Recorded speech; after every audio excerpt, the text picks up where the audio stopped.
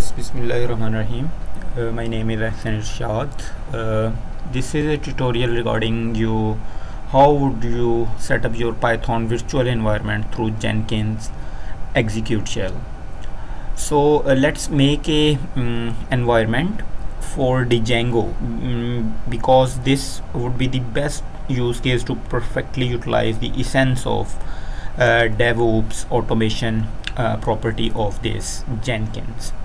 Uh, so uh, before uh, we go towards this um, I would like to mention some prerequisites uh, because uh, when you will um, try to install the virtual python virtual environment the sudo command will not run okay?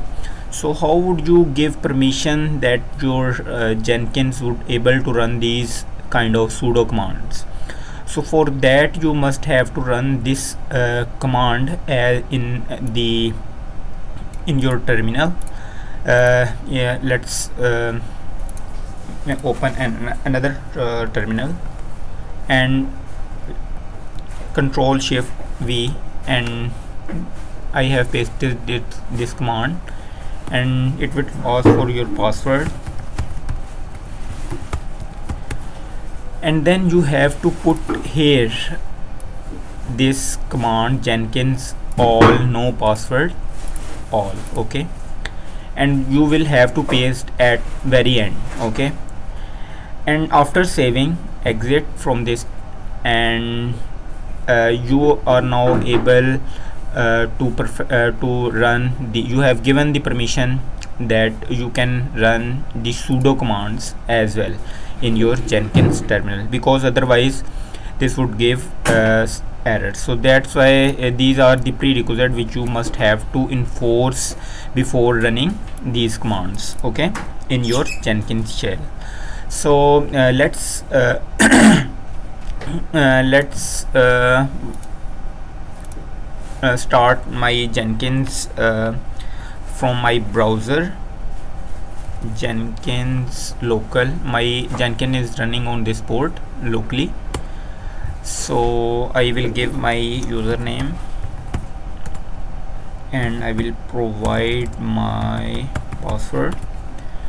And now we will create another environment uh, we will create a new item uh, and give its it name as the Django one env and we will uh, keep it as freestyle project and just okay.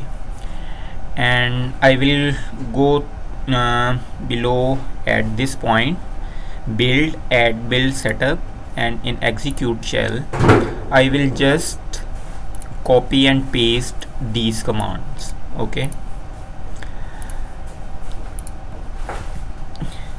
so I will uh, write here the name as Django uh, you may give any name to your uh, environment. Django uh, V okay? And same name I will give here because I have to go to this directory to activate this uh, virtual environment okay? So uh, one more thing this command is very uh, important because you are uh, asking to your this execute shell that execute these below command as bash script. Otherwise your uh, you will uh, not be able to make this virtual environment. So let's apply and save and let's go back and see where is our Django this is so let's um, just uh, click on this and click on build now. Let's see whether it is, has been built or not. Let's click on this. So you can see that in build history the this green tick is indicating that uh, you have successfully built your environment. Okay let's uh, see uh, let's click on this and see our console output. Now you can see that my virtual environment is successfully created and activated. Let's run a pip list uh, command in it uh, that what we have available in this uh, virtual environment to ensure uh, that whether our virtual environment is created successfully or not. So let's um, uh, go here and configure and let's run pip list okay?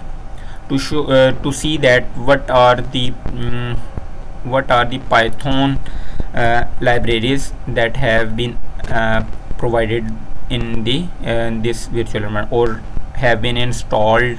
By default what are the python libraries has been installed in this virtual environment. And then so again apply and save. And we will again click on the build now.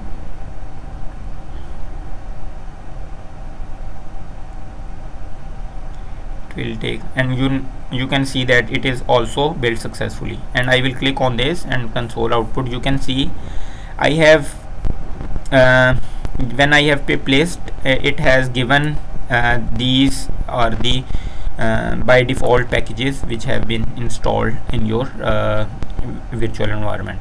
In next video I will tell you that how can you install all the Django libraries and its uh, dependencies through requirement.txt file. Till the uh, till then Allah Hafiz. Thank you